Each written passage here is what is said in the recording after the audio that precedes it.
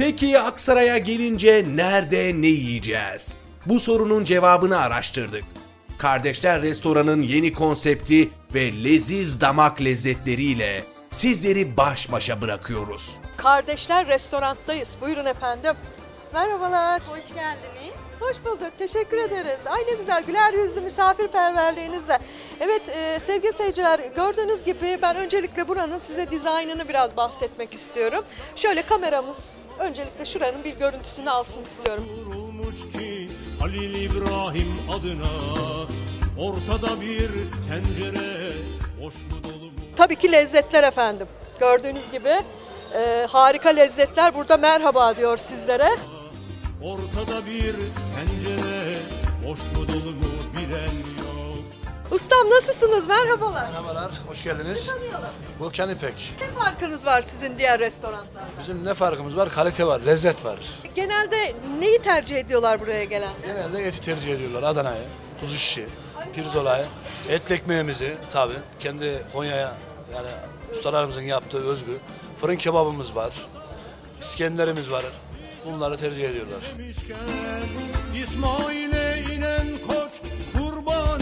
edilmemişken Bir Bakar mısınız çocuklarınızı rahatlıkla burada, e, siz yemeğinizi yerken çocuklarınız da burada eğlenme imkanı bulabiliyorlar. kurbanı hiç soran yok Bir kavga başlamış ki Nasip kısmet uğruna Sevgili seyirciler biraz ilerleyelim isterseniz. Sizi çok güzel VIP bölümüne götüreceğim. Özel günlerde özel misafirlerin burada yer aldığı VIP salonu da var. Bunu da paylaşmak istiyorum.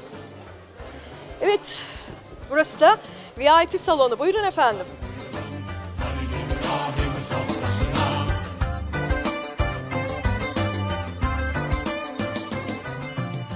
Evet gördüğünüz gibi çok güzel bir dinlenme salonu bizi karşıladı. Burada rahatlıkla dinlenip hatta serin bir hava aşağı kat olduğu için daha böyle ferah bir e, hal almış burası. Burada dinlenmenizi yapabiliyorsunuz. Evet e, bay bayan mescitler mevcut sevgili seyirciler burada. Geldiğiniz zaman namazınızı da kılabiliyorsunuz. Evet burada abdestinizi alabiliyorsunuz sevgili seyirciler. Çok güzel düşünülmüş her şey. Evet burada da namazınızı kılabiliyorsunuz gayet güzel.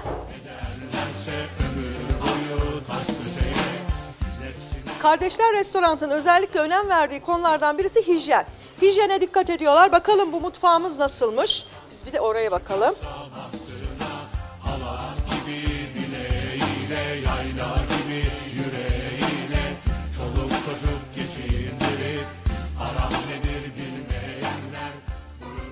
bay bayan VC'lerin de tabii ki tuvaletlerin önemi var sevgili seyirciler. Her şeyin başı hijyen dedik. Birazcık da onlardan bahsedelim. Evet e, buranın gördüğünüz gibi tuvaletleri de bu şekilde. Buyurun. Sapa kulba kapa itibar etme dostum Evet sevgili seyirciler bu hafta Kardeşler Restorant'ı sizlere tanıtmak istedik. Restoranttan öte bir dinlenme yeri efendim, bir keyif yeri. Hepinizi buraya davet ediyoruz. Aksaray'a geldiğinizde nerede ne yiyeceğim diye düşünmeyin. Kardeşlere gelin. Bizden söylemesi. itibar etme dostum İçi boş tencerenin bu sofrada yeri Kardeşler Restorant'a yurt içi ve yurt dışından bütün misafirlerimizi bekliyoruz. Teşekkürler.